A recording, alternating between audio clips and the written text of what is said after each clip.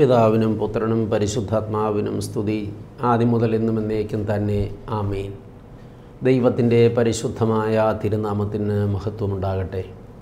കർത്താവായ യേശു ക്രിസ്തുവിൽ ഏറ്റവും സ്നേഹവും വാത്സല്യവുമുള്ള ദൈവമക്കളെ ഒരു പ്രാവശ്യം കൂടെ കർത്താവിന്റെ പാതപീഠത്തിൽ വെച്ച് നമുക്ക് ദൈവത്തിന്റെ തിരുവചനങ്ങളെ ധ്യാനിപ്പാൻ ഭാഗ്യമൊരുക്കി തന്ന നല്ല കർത്താവിനെ സ്തുതിക്കാം. ക്രിസ്തീയ ജീവിതം നയിക്കേണ്ട വിധങ്ങളെക്കുറിച്ചാണല്ലോ കർത്താവിന്റെ ആത്മാവ് നമ്മെ പ്രബോധിപ്പിച്ചു കൊണ്ടിരിക്കുന്നത് വളരെ മധുരമനോഹരമായ നാല് ചിന്തകൾ നാം ഈ ദിവസങ്ങളിൽ കേട്ടുകൊണ്ടിരിക്കുകയായിരുന്നു. പ്രിയപ്പെട്ടവരെ നമ്മൾ എങ്ങനെയാണ് ക്രിസ്തീയ ജീവിതം നയിക്കേണ്ടത് എന്നതിന് മറ്റൊരു ചിന്ത നമുക്കിങ്ങനെ വേദപുസ്തകത്തിൽ നിന്ന് കണ്ടെത്താം. തികഞ്ഞ ഭക്തിയുള്ളവരായി നാം ക്രിസ്തീയ ജീവിതം നയിക്കണം. തികഞ്ഞ ഭക്തിയുള്ളവരായി. തികഞ്ഞ ഭക്തി എന്ന് പറയുന്നത് ഏത് സാഹചര്യത്തിലും വെളിപ്പെടുന്ന ഭക്തിയാണ്. നമുക്ക് സാഹചര്യങ്ങൾ അനുകൂലമാകുമ്പോഴും നമുക്ക് സാഹചര്യങ്ങൾ പ്രതികൂലമാകുമ്പോഴും നമ്മുടെ ഭക്തിക്ക് മാറ്റമുണ്ടാകുന്നില്ല. മാറ്റമുണ്ടാകരുത്. ഒരുപക്ഷെ സാഹചര്യങ്ങൾ അനുകൂലമായിരിക്കുമ്പോൾ വളരെ ഭക്തി ഭക്തരായി ജീവിക്കുന്ന ആളുകളുണ്ട്. സാഹചര്യങ്ങൾ അനുകൂലമാകുമ്പോൾ ഭക്തി കൈവിട്ടു പോകുന്നവരും ഉണ്ട്. അതേസമയത്ത് സാഹചര്യങ്ങൾ പ്രതികൂലമാകുമ്പോൾ ഭക്തി ജീവിതത്തിൽ ഒരുപാടുണ്ടാകുന്ന ചില മനുഷ്യരുണ്ട്. സാഹചര്യം പ്രതികൂലമാകുമ്പോൾ ഭക്തി തീർത്തും കൈവിട്ടു പോകുന്ന ചില മനുഷ്യരുമുണ്ട്. അതേക്കുറിച്ച് ഒക്കെ പറഞ്ഞു വരുമ്പോൾ പ്രിയപ്പെട്ടവരെ സാഹചര്യം അനുകൂലമായതുകൊണ്ട് സാമ്പത്തികമായി നല്ല ഭദ്രതയുണ്ട്. ആരോഗ്യപരമായി പ്രശ്നങ്ങളൊന്നുമില്ല. അതുപോലെ നല്ല കുടുംബജീവിതമുണ്ട്. നല്ല സാമൂഹിക ബന്ധങ്ങളുണ്ട്. സാമാന്യം നല്ല സ്റ്റാറ്റസിലാണ് ജീവിക്കുന്നത്. അല്ലലും അലച്ചിലും ഒന്നുമില്ല. അക്കാരണം കൊണ്ട് ഇങ്ങനെയൊക്കെ ജീവിക്കുന്നത് കൊണ്ട് ശരിക്കും ദൈവഭക്തി കൈവിട്ടു പോയ കുറേ ആളുകളുണ്ട്. ഇപ്പോഴെനിക്ക് എന്താണ് ഒരു കുറവ്? ഞാൻ എന്തിനാണ് ഭക്തിമാർഗെ സഞ്ചരിക്കുന്നത്? എന്തിനാണ് ഞാൻ ദൈവത്തെ അന്വേഷിക്കുന്നത്? എന്തിനാണ് ഞാൻ വെറുതെ പ്രാർത്ഥിച്ച് സമയം കളയുന്നത്? എനിക്കെല്ലാം ഉണ്ടല്ലോ. ഒന്നിനും കുറവില്ലല്ലോ. പിന്നെ ഞാൻ എന്തിനാണ് ദൈവത്തെ അന്വേഷിച്ച് എന്റെ നേരം കളയുന്നത്? ഇങ്ങനെ ചിന്തിക്കുന്ന വലിയൊരു പറ്റം ആളുകൾ സമൂഹത്തിലുണ്ട്. ഇല്ലെന്ന് പറയാനൊക്കില്ല ഉണ്ട്. അപ്പോൾ തന്നെ ഇങ്ങനെയുള്ള സാഹചര്യങ്ങളെല്ലാം അനുകൂലമായി വന്നതുകൊണ്ട് കർത്താവാണ് എനിക്കിതെല്ലാം അനുകൂലമാക്കി തന്നത് എന്ന തികഞ്ഞ ബോധ്യത്തോടെ വളരെ ഭക്തിയോടെ ദൈവത്തെ ആരാധിച്ച് ദൈവത്തിന് മഹത്വം കരേറ്റി ദൈവത്തെ നിരന്തരം സ്തുതിച്ച് ദൈവത്തെ സാക്ഷിക്കുന്ന ഒരു പറ്റം ആളുകളുമുണ്ട്. അപ്പോൾ അനുകൂല സാഹചര്യത്തിൽ തന്നെ ഈ രണ്ട് നിലപാടുകാരും ഉണ്ട്. ഭക്തിയോടെ ജീവിക്കുന്നവരും ഭക്തിയില്ലാതെ ജീവിക്കുന്നവരും. അപ്പോൾ ഇതിങ്ങനെ പറഞ്ഞുകൊണ്ടിരിക്കുമ്പോൾ കേട്ടുകൊണ്ടിരിക്കുമ്പോൾ ഞാനിതിൽ ഏത് വിഭാഗത്തിൽപ്പെടുന്നയാളാണ് എന്ന് ഒന്ന് വിലയിരുത്തുന്നത് കാമ്യമാണ് ഉചിതമാണ് അത് ചെയ്യുമല്ലോ. പ്രിയപ്പെട്ടവരെ അത് വിലയിരുത്തുവാൻ എല്ലാവർക്കും ഭാഗ്യമുണ്ടാകട്ടെ. ഇനി സാഹചര്യങ്ങൾ പ്രതികൂലമാകുമ്പോൾ ഭക്തി വർദ്ധിക്കുന്ന ആളുകളുണ്ട്. അതുപോലെ തന്നെ ഭക്തി നഷ്ടപ്പെട്ടു പോകുന്ന ആളുകളുമുണ്ട്. ഉദാഹരണം പറഞ്ഞാൽ ജീവിതത്തിൽ ഇങ്ങനെ വലിയ ഭക്തിയൊന്നും ഇല്ലാതെ ജീവിച്ചു കൊണ്ടിരുന്ന ഒരു കുടുംബം അല്ലെങ്കിൽ ഒരു വ്യക്തി ആകസ്മികമായി ഒരു രോഗം വരുന്നു. രോഗം പ്രയാസകരമാണെന്ന് അറിയുന്നു. അപ്പോൾ മെഡിക്കൽ സയൻസ് ഉറപ്പില്ലാത്ത ചില കാര്യ കുറേ കാര്യങ്ങളാണ് പറയുന്നത്. ചികിത്സിച്ച് നോക്കാം എവിടെ എത്തുമെന്നറിയില്ല അപ്പോൾ ആളുകൾ വളരെ ഭക്തി പ്രകടിപ്പിക്കാൻ തുടങ്ങും. ഇനി ദൈവം മാത്രം തുണ എന്നൊരു ബോധത്തിൽ നിന്നുണ്ടാകുന്നതാണ്. ശരിക്കും അത് ദൈവത്തെ ഒരു ഡോക്ടറായി കണ്ട് ഒരു അന്തിമ പരീക്ഷണം നടത്തി നോക്കാം എന്നുള്ളതായ ഒരു വിലയിരുത്തലിൽ പ്രകടമാക്കുന്ന ഭക്തിയാണ് അത്. യഥാർത്ഥ ഭക്തിയൊന്നുമല്ല പക്ഷേ പ്രയാസം വരുമ്പോൾ രോഗം വരുമ്പോൾ ഒരാക്സിഡന്റ് സംഭവിക്കുമ്പോൾ അല്ലെങ്കിൽ ജോലി നഷ്ടപ്പെടുമ്പോൾ അതുപോലെ പരീക്ഷയ്ക്ക് പരാജയപ്പെടുമ്പോൾ കുടുംബജീവിതത്തിലെ പ്രശ്നങ്ങൾ ഉണ്ടാകുമ്പോൾ അല്ലെങ്കിൽ മക്കൾ ഏതെങ്കിലും കുഴപ്പങ്ങളിൽ പെടുമ്പോഴൊക്കെ ഭക്തി വർദ്ധിക്കുന്ന ചില നിലപാടുകാരുണ്ട്. അപ്പോൾ അവരുടെ ജീവിതത്തിൽ പ്രാതികൂല്യ സാഹചര്യം വന്നതുകൊണ്ടാണ് അവരുടെ ഭക്തി വർദ്ധിച്ചത്. അവർ കൂടുതൽ പ്രാർത്ഥിക്കുന്നവരും കൂടുതൽ ദൈവത്തെ അന്വേഷിക്കുന്നവരുമൊക്കെയായി തീരുന്നത്. ഇങ്ങനെ വന്നിട്ടുള്ള ആളുകൾ ഒരു പറ്റം ആളുകൾ അവരുടെ ജീവിതത്തിൽ ആ പ്രതിസന്ധി തീർന്നു കിട്ടുന്നത് കൊണ്ട് അല്ലെങ്കിൽ കഷ്ടത മാറി രോഗം മാറി അത്ഭുതകരമായി വിടുതൽ ലഭിക്കുന്നത് കൊണ്ട് ജീവപര്യന്തം ഭക്തരായി നിലനിന്നിട്ടുള്ള ആളുകളുണ്ട്. ചില ആളുകൾ ഈ കഷ്ടം മാറിക്കിട്ടിയപ്പോൾ അല്ലെങ്കിൽ പ്രതിസന്ധി നീങ്ങിക്കിട്ടിയപ്പോൾ അതോടൊപ്പം ദൈവത്തോടുള്ള ആ ഭക്തിയും കുറഞ്ഞു പോയവരുമുണ്ട്. ഇനി വേറൊരു കൂട്ടം ആളുകളുണ്ട്. ഈ പ്രതീക്ഷിച്ച കാര്യം നടന്ന് കിട്ടാതെ വന്നതുകൊണ്ട് അല്ലെങ്കിൽ രോഗം മാറാത്തത് കൊണ്ട് പ്രതിസന്ധി തീരാത്തത് കൊണ്ട് കരകയറാൻ പറ്റാത്തത് കൊണ്ട് കാണിച്ച ഭക്തി തിരുത്തി. ഞാൻ പ്രാർത്ഥിച്ചിട്ടൊന്നും എനിക്ക് ഉത്തരം കിട്ടുന്നില്ല പ്രയോജനമൊന്നും കിട്ടുന്നില്ല. ഞാൻ ദൈവത്തെ അന്വേഷിച്ചിട്ട് എനിക്ക് അതുകൊണ്ട് നേട്ടമൊന്നും കിട്ടുന്നില്ല. അതുകൊണ്ട് ഈ ദൈവത്തെ പിന്തുടരാൻ ഇനി ഞാനില്ല എന്ന് പറഞ്ഞ് ഭക്തി കൈവിട്ട് കളഞ്ഞ ആളുകളും വീണ്ടും പഴയ പാപ ജീവിതത്തിലേക്ക് മടങ്ങിയവരും ഉണ്ട്. പ്രിയപ്പെട്ടവരെ അപ്പോൾ കഷ്ടത ഒരു പറ്റം ആളുകളെ ഭക്തരാക്കി മാറ്റുന്നുണ്ട്. പ്രതിസന്ധി കണ്ണുനീരിന്റെ അനുഭവങ്ങളൊക്കെ പ്രാതികൂല്യങ്ങൾ ആളുകളെ ഒരുപാട് പേരെ ഭക്തരാക്കി മാറ്റുന്നുണ്ട്. എന്നാൽ പ്രിയപ്പെട്ടവരെ ചില ആളുകളെ സംബന്ധിച്ച് ഈ കഷ്ടത അവരെ ഭക്തി തീർത്തും നഷ്ടപ്പെട്ടവരാക്കി മാറ്റുന്നുണ്ട്. അത് വളരെ വേദനിപ്പിക്കുന്ന ഒരു കാര്യമാണ്. പറയാതിരിക്കാൻ സാധ്യമാകയില്ല. ജീവിതത്തിൽ ഭക്തരായി ജീവിച്ചവരാണ് ആരാധനയുള്ളവരാണ് ദൈവത്തിനെല്ലാം കൊടുക്കാൻ മനസ്സുള്ളവരാണ് വളരെ നല്ല രീതിയിൽ ആത്മീക ശുശ്രൂഷ ചെയ്തു എന്നവരാണ് പക്ഷേ ആകസ്മികമായി അവരുടെ ജീവിതത്തിൽ ഒരു അനർത്ഥം സംഭവിക്കുമ്പോൾ ഒരപകടം പറ്റുമ്പോൾ ഒരു വലിയ കഷ്ടത വന്ന് ഭവിച്ചു കഴിയുമ്പോൾ ഉടനെ അവർ ദൈവത്തെ ശത്രുവായി കാണുകയാണ്.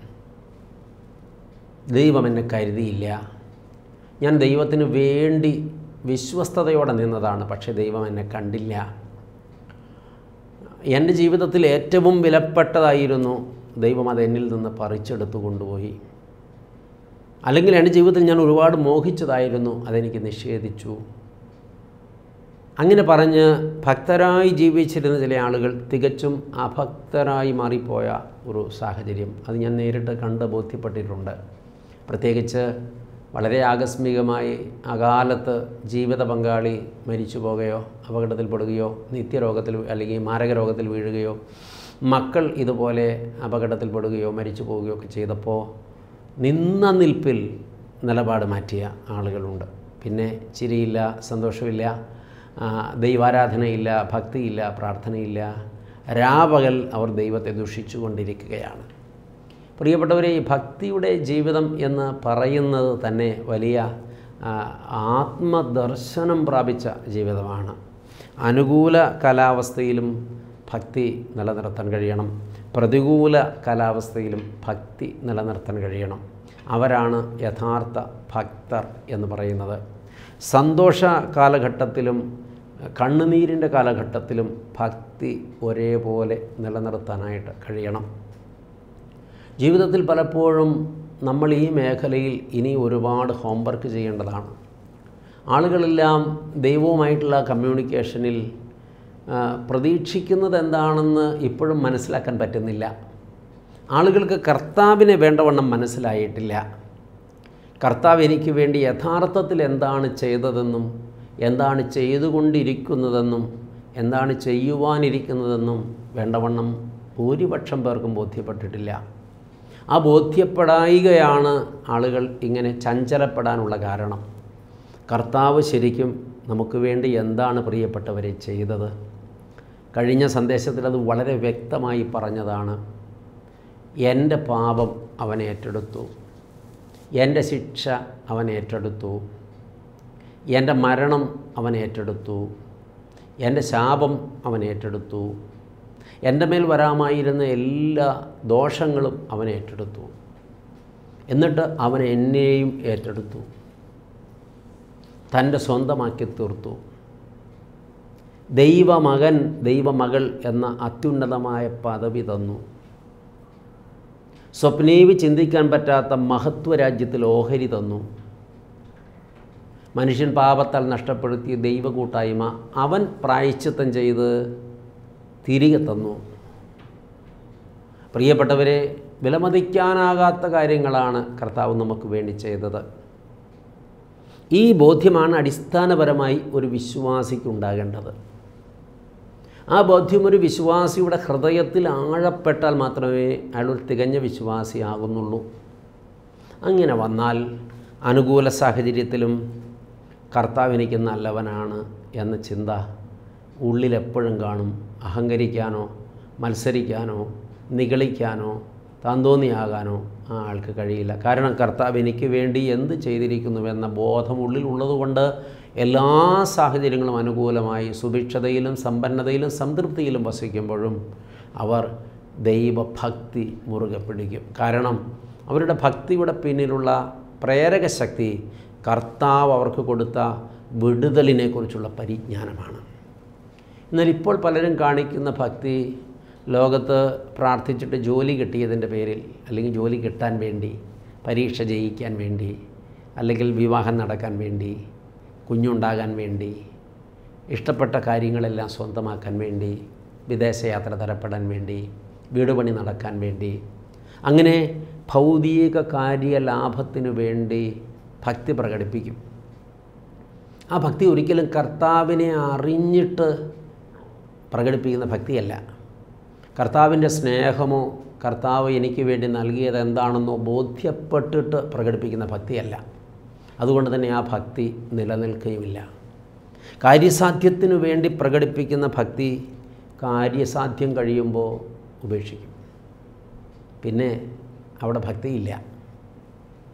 അവർ പിന്നെ അടുത്തൊരു വിഷയം വരുമ്പോഴാണ് ഭക്തി പ്രകടിപ്പിക്കുന്നത്. ചിലർ നിരന്തരം ആഗ്രഹങ്ങൾ ഒരിക്കലും അടങ്ങാത്തവരായതുകൊണ്ട് ആഗ്രഹ നിവൃത്തിക്ക് വേണ്ടി ഭക്തിയുടെ വഴിയെ സഞ്ചരിക്കുകയാണ്. അവിടെയുള്ളൊരു വലിയ വലിയ അപകടം എന്താണെന്ന് വെച്ചാൽ എന്റെ കർത്താവ് എനിക്ക് വേണ്ടി സാധിപ്പിച്ചു തന്ന വലിയ വീണ്ടെടുപ്പ് എന്ന ബോധ്യം ഉള്ളിലില്ലാതെ പ്രകടിപ്പിക്കുന്ന ഭക്തി ഒരിക്കലും ശാശ്വതവും സുസ്ഥിരവുമായ ഭക്തി അല്ല.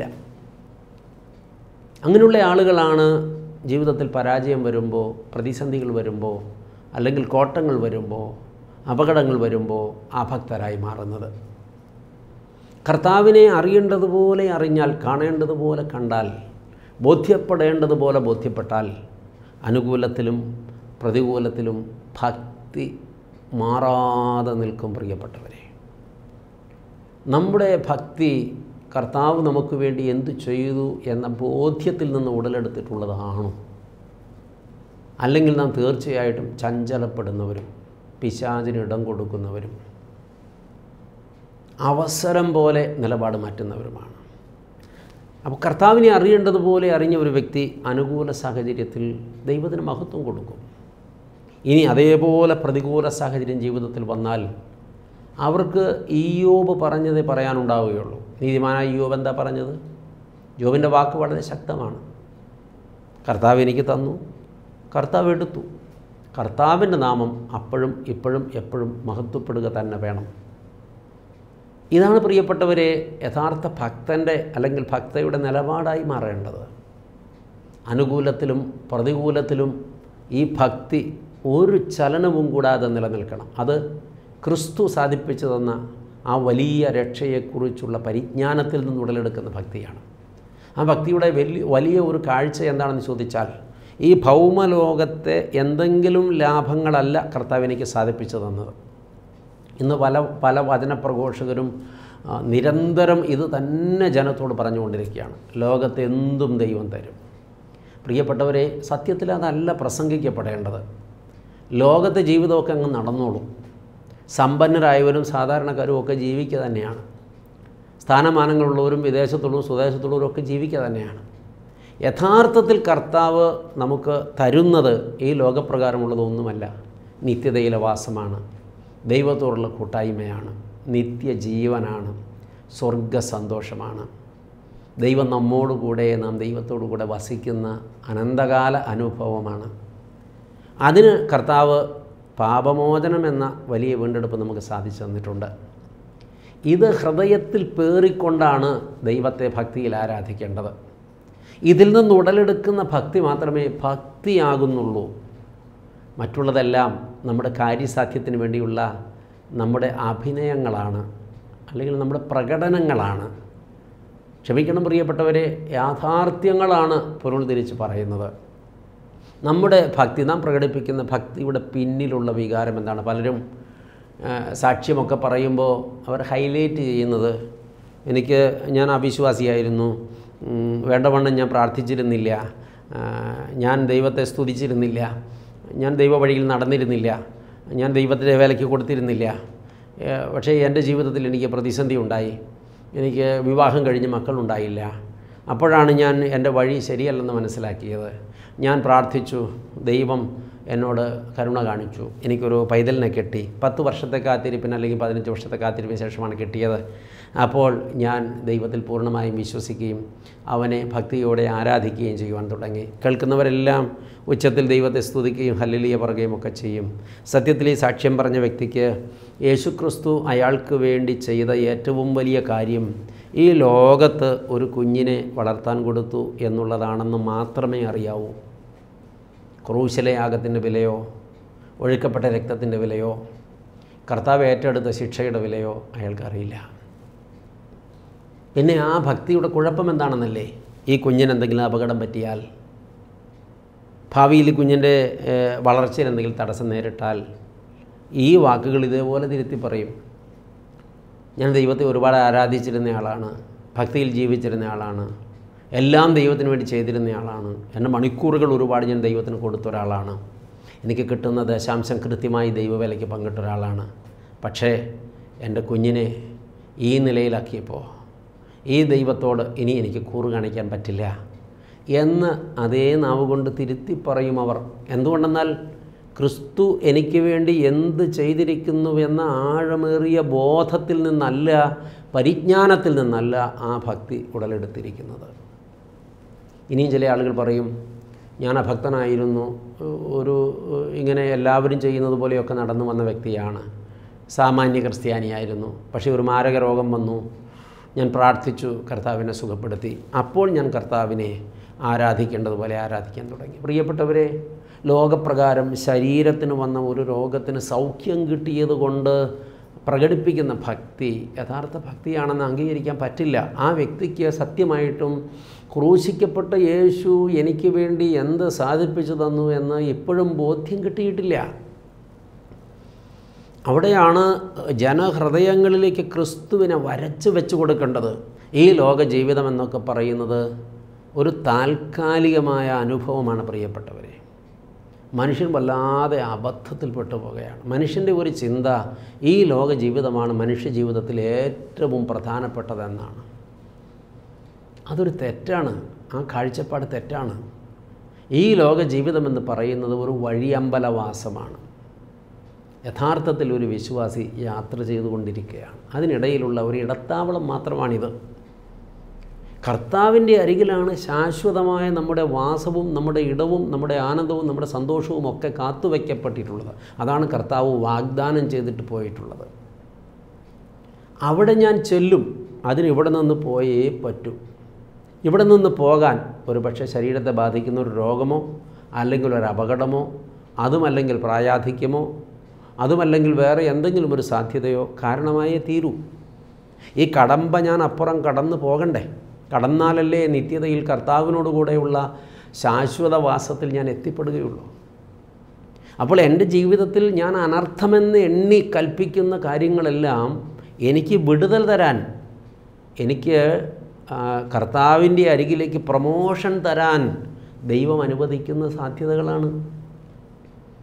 എന്നാൽ എന്റെ അവകാശം എനിക്ക് നഷ്ടപ്പെടുന്നില്ല. എന്റെ ഭാഗ്യം എനിക്ക് നഷ്ടപ്പെടുന്നില്ല. എനിക്ക് ദൈവ കൂട്ടായ്മ നഷ്ടപ്പെടുന്നില്ല. നിത്യജീവൻ നഷ്ടപ്പെടുന്നില്ല. ദൈവത്തോട് കൂടെ അതെല്ലാം ഞാൻ അനുഭവിക്കേണ്ടതിന് വേണ്ടിയാണ് വേർപെടുന്നത്. അതിനുവേണ്ടിയാണ് വേർപെട്ടവരൊക്കെ വിശ്വാസികൾ വേർപെട്ടത്. അതുകൊണ്ട് അതിന്റെ പേരിൽ ദൈവത്തോട് വിലപേശല്ലേ ദൈവമക്കളെ? അങ്ങനെ വിലപേശുമ്പോൾ നാം ദൈവത്തെ വല്ലാതെ മുറിവേൽപ്പിക്കുകയാണ് തുച്ഛീകരിക്കുകയാണ്. യഥാർത്ഥ ഭക്തിയുടെ മാനദണ്ഡം കർത്താവ് എനിക്ക് വേണ്ടി എന്തു ചെയ്തു എന്ന പരിജ്ഞാനമാണെന്ന് ആവർത്തിച്ച് ആവർത്തിച്ച് ആവർത്തിച്ച് പറയാൻ നിർബന്ധിതനാവുകയാണ്. ദൈവാത്മാവ് അങ്ങനെ തന്നെ ഉള്ളിൽ ഹേമിക്കുകയാണ്. ഈ പരിജ്ഞാനമാണ് ദൈവമക്കൾ പ്രാപിക്കേണ്ടത്. അത് പ്രാപിച്ചവർ മാത്രമാണ് യഥാർത്ഥ ഭക്തർ. വേദപുസ്തകത്തിൽ നിന്ന് രണ്ട് വാക്യങ്ങൾ അപ്പോസ്തലനായ പൗലോസ് നമ്മളെ പഠിപ്പിക്കുന്നുണ്ട്. തിമോത്തിയോസിനുള്ള രണ്ടാം ലേഖനം മൂന്നാം അധ്യായത്തിന്റെ പന്ത്രണ്ടാമത്തെ വാക്യം. അവിടെ ഇങ്ങനെ വായിക്കുന്നു എന്നാൽ ക്രിസ്തു യേശുവിൽ ഭക്തിയോടെ ജീവിപ്പാൻ മനസ്സുള്ളവർക്കെല്ലാം ഉപദ്രവമുണ്ടാകും. ക്രിസ്തീയ ജീവിതം എന്ന് പറയുന്നത് ഒരു എന്താ പറയുക ഒരു കണ്ണുനീരിന്റെ അല്ലെങ്കിൽ ഒരു കഷ്ടതയുടെ ഒരു കയ്പ് നീര് കുടിക്കുന്ന അനുഭവമാണെന്നാണ് അപ്പോസ്തലൻ സാക്ഷിക്കുന്നത്. ഉപദ്രവ പരമ്പര ജീവിതത്തിൽ സംഭവിക്കും. ഭക്തിയോടെ ജീവിക്കാൻ പരിശ്രമിക്കുന്നവർക്ക് തീരുമാനിക്കുന്നവർക്ക് മനസ്സുള്ളവർക്ക്. അപ്പോൾ യഥാർത്ഥത്തിൽ അവരുടെ ഭക്തി വെല്ലുവിളിക്കപ്പെടുകയാണ്. കഷ്ടതയുടെ പരമ്പരകളിലൂടെ കടന്നു പോകുമ്പോൾ അവരുടെ ഭക്തി വെല്ലുവിളിക്കപ്പെടുകയാണ്. വെല്ലുവിളിക്കപ്പെടുമ്പോൾ ആ വെല്ലുവിളി ഏറ്റെടുത്ത് അതിൽ ജയിക്കാൻ കഴിയുന്നവനാണ് യഥാർത്ഥ ഭക്തൻ. അതാണ് നീതിമാനായ ഇയോവിന്റെ ഏറ്റവും വലിയ ഭാഗ്യം. എത്രമാത്രം പീഡന പരമ്പരകളിലൂടെ കടന്നുപോയിട്ടും നീതിമാനായ ഇയോവ് ദൈവത്തെ തള്ളി പറയാൻ തയ്യാറായില്ല. അവൻ എന്നെ കൊന്നാലും ഞാൻ അവനായി തന്നെ കാത്തിരിക്കുമെന്നാണ് യോബ് പ്രഖ്യാപിക്കുന്നത്. അവൻ എന്നെ കൊന്നാലും ഞാൻ അവനായി തന്നെ കാത്തിരിക്കും. യഥാർത്ഥ ഭക്തൻ. പ്രിയപ്പെട്ടവരെ പ്രാതികൂല്യ സാഹചര്യങ്ങൾ പോരാട്ടങ്ങളായി മാറുമ്പോൾ ഭക്തിക്ക് ചഞ്ചലിപ്പുണ്ടാകരുത്. അങ്ങനെ ഉണ്ടാകുന്നിടത്ത് നാം പ്രകടിപ്പിക്കുന്നത് ഭക്തിയല്ല അഭക്തിയാണ് എന്ന് വരുന്നുണ്ട്. തെസ്ലോനിക്കർക്കുള്ള ഒന്നാം ലേഖനം മൂന്നാം അധ്യായത്തിന്റെ മൂന്നാമത്തെ വാക്യത്തിൽ ഇങ്ങനെയാണ് അപ്പോസ്തലൻ നമ്മളെ പാഠം പഠിപ്പിക്കുന്നത്. കഷ്ടമനുഭവിപ്പാൻ നാം നിയമിക്കപ്പെട്ടിരിക്കുന്നുവെന്ന് നിങ്ങൾ തന്നെ അറിയുന്നുവല്ലോ. ക്രിസ്തീയ ജീവിതത്തെക്കുറിച്ചാണ് അപ്പോസ്തോലൻ സാക്ഷ്യപ്പെടുത്തുന്നത്. കഷ്ടമനുഭവിപ്പാൻ നാം നിയമിക്കപ്പെട്ടിരിക്കുന്നുവെന്ന് നിങ്ങൾ തന്നെ അറിയുന്നുവല്ലോ. അപ്പോൾ ക്രിസ്തീയ ജീവിതം കഷ്ടാനുഭവത്തിന്റെ ജീവിതമാണെന്ന് സഹന പരമ്പരയുടെ ജീവിതമാണെന്ന് അതിലൂടെ കടന്നു പോകുമ്പോൾ തികഞ്ഞ ഭക്തി പ്രകടിപ്പിക്കുന്ന ജീവിതമാണെന്ന് അപ്പോസ്തലൻ സാക്ഷിക്കുകയാണ്. ഇതിങ്ങനെ ഹൃദയത്തിൽ നമ്മൾ എഴുതി പിടിപ്പിക്കണം പ്രിയപ്പെട്ടവരെ. യഥാർത്ഥ ഭക്തരായിട്ടാണോ നാം ജീവിക്കുന്നത്? ഇക്കണ്ട കാലം അത്രയും നാം ദൈവത്തെ ആരാധിച്ചതും മഹത്വപ്പെടുത്തിയതും ദൈവവേല ചെയ്തതും ക്രിസ്തീയ സാക്ഷ്യം വഹിച്ചതും ദൈവവേലയ്ക്ക് കൊടുത്തതും യഥാർത്ഥ ഭക്തിയുടെ ബോധ്യം ഉള്ളിൽ ഉണ്ടായിരുന്നത് കൊണ്ടാണോ? അതോ ആദ്യം പറഞ്ഞതുപോലെ ലോകപ്രകാരം ലഭിച്ച ഒരു സൗഖ്യമോ അല്ലെങ്കിൽ ലഭിച്ച ഒരു പൈതലോ അതുമല്ലെങ്കിൽ ലഭിച്ച ഒരു ജോലിയോ അതുമല്ലെങ്കിൽ വേറെ ഏതെങ്കിലും നേട്ടങ്ങളോ ഒക്കെയാണോ നമ്മുടെ ഭക്തിക്ക് കാരണമായി നാം എടുത്ത് കാണിക്കുന്നത്? അങ്ങനെയാണെങ്കിൽ ആ ഭക്തി ശാശ്വതമല്ല. അതിനകത്ത് ഒരിക്കലും രക്ഷയുടെ സന്തോഷവും ഇല്ല. രക്ഷയുടെ സന്തോഷം അനുഭവിക്കാൻ നമുക്ക് സാധിക്കണം. ആ ആ അനുഭവത്തിൽ നമ്മൾ എത്തുമ്പോഴാണ് നാം ഭക്തരായി മാറുന്നത്. അങ്ങനെ വരുമ്പോൾ നമുക്ക് മരിക്കാൻ ഒരിക്കലും ഭയമുണ്ടാകില്ല. മരിക്കാൻ ഭയമുണ്ടാകില്ല മാത്രമല്ല ലോകത്ത് നമ്മുടെ മേൽ വരുന്ന ഒരനർത്ഥങ്ങളെക്കുറിച്ചും നമുക്ക് ആശങ്കയുണ്ടാകില്ല. കാരണം ഒരു കാര്യം ഉറപ്പാണ് ഞാനൊരു ഭക്തനാണ് ഭക്തയാണ് എനിക്കൊരു കർത്താവുണ്ട്. അവിടെ നിന്നറിയാതെ എന്റെ ജീവിതത്തിൽ ഒന്നും സംഭവിക്കുന്നില്ല. ഞാൻ രോഗിയായെങ്കിൽ അത് കർത്താവ് അറിഞ്ഞിട്ടാണ്.